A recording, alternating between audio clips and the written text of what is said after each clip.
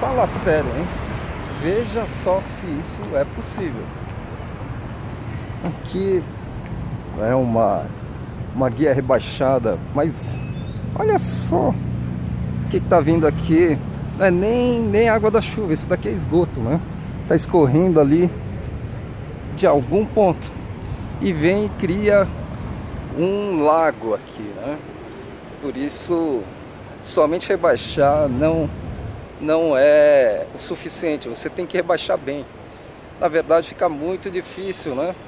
Você evitar isso, uh, a gente deveria colocar uma outra questão. O negócio eu tive que fazer o quê?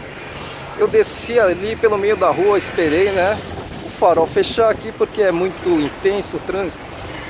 Ele fechar um pouco para eu descer ali e vir caminhando pelo meio da avenida para poder atravessar aqui. Eu não vou passar nesse lago aqui, nesse, principalmente no esgoto, né?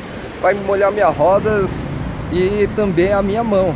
Então isso daqui é nojento, certo? Então algum sistema, uma grelha, alguma coisa que possa evitar o acúmulo dessa água. Ah, ninguém consegue passar, nem pedestre, só pulando aqui. É, então é ruim para todos.